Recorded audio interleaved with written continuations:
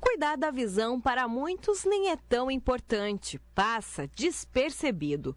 A imagem que se torna embaçada, os cantos mais escuros ou até mesmo carnes que crescem em volta do globo ocular. Tudo isso pode dificultar uma visão nítida. Suelen nasceu com toxoplasmose e tinha data prevista para ficar cega. Com 18 anos, a escuridão. Foi uma coisa assim rápida, que eu ainda achava que eu ia poder ver, né, com 18. Mas aí eu perdi com 18 anos, né? Então, tipo assim, tive que me readaptar, me acostumar de novo. Quer dizer, me alfabetizar no braille, é, comandar com a ajuda de alguém, com auxílio da bengala. Tive que fazer uma readaptação de novo. Apesar disso, o médico oftalmologista explica que a maioria das doenças oculares tem cura e que algumas são mais preocupantes, como o glaucoma.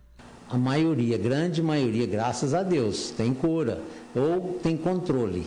Entendeu? O glaucoma, por exemplo, não tem cura, mas tem controle. Então você leva ele controladinho, que ele nunca vai deixar a pessoa ficar cega.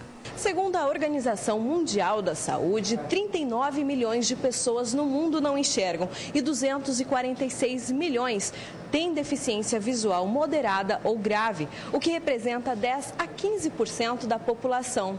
A visita ao oftalmologista pode evitar danos maiores. De acordo com o oftalmologista, é na fase escolar que a maioria dos problemas são identificados. Se a pessoa, é, antes de entrar na escola, seria interessante que todas as crianças passassem por um exame de oftalmologia.